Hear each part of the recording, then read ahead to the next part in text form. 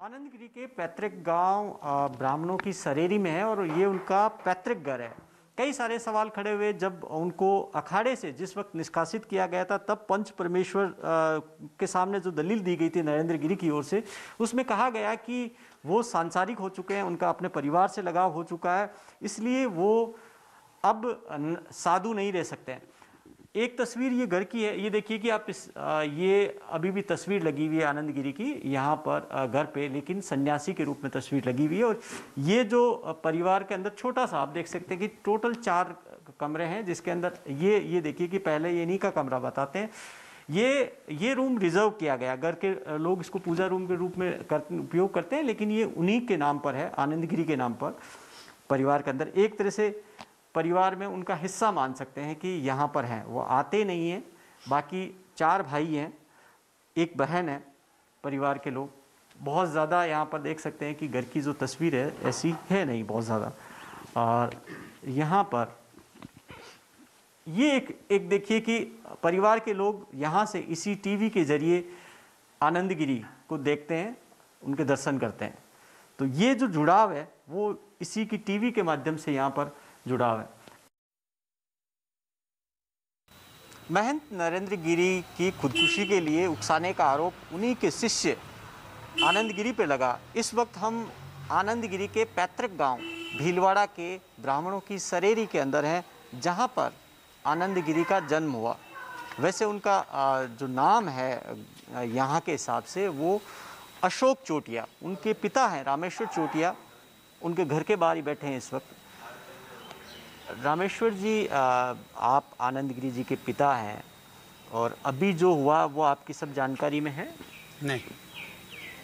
उन पर उन पर आरोप ये लगा है कि जो उनके गुरु थे नरेंद्र गिरी उनको खुदकुशी के लिए उकसाया और उन्होंने अपने नरेंद्र गुरु ने अपने जो सुसाइड नोट है उसके अंदर भी उनका नाम लिखा था कि उनकी वजह से वो खुदकुशी कर रहे हैं।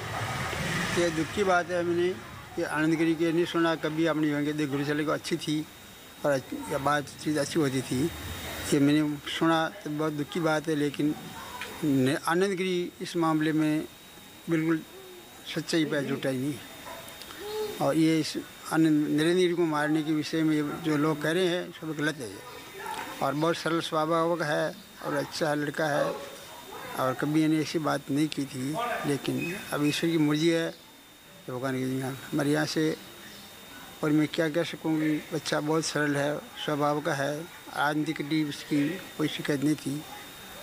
और ये दोनों की गुरु चलेंगे अच्छी थी। और महंत की सुसाइड मिस्ट्री के बारे में आगे बताने से पहले ये बताते हैं कि अब तक इस मामले में क्या कुछ हुआ है। अब तक तीन लोग गिरफ़्तार किए गए हैं। नरेंद्र गिरी के शिष्य आनंद गिरी, आद्य तिवारी, उनके बेटे संदीप तिवारी गिरफ़्तार कर लिए गए, क्योंकि तीनों के नाम सुसाइड नोट में मौजूद हैं। और इसके अलावा छह लोगों को हिरासत में भी लिया गया है, जिनसे पूछताछ जारी है। पूछताछ की भी गई है। एसआईटी की टीम ने प्रयागराज के बागंभरी मठ में जाकर लोगों से यहाँ पूछताछ की। जाँच जैसे जैसे आगे बढ़ रही है, कई चौंकाने वाले खुलासे अब तक हो चुके हैं और अब तक इस मामले में महंत नरेंद्र गिरी के सुरक्षा कर्मियों के नाम भी सामने आ रहे हैं। एसआईटी ने उनके चार सुरक्षा कर्मियों से पूछताछ की। सुरक्षा कर्मी अजय सिंह और आनंद गिरी को आमने सामने बैठाकर दो बार पूछताछ यहाँ पर की गई है। महाराज जी क्या कहेंगे? देखिए ऐसा है कि सीबीआई जाँच होगी तभी इसकी असलियत की जानकारी हो पाएगी।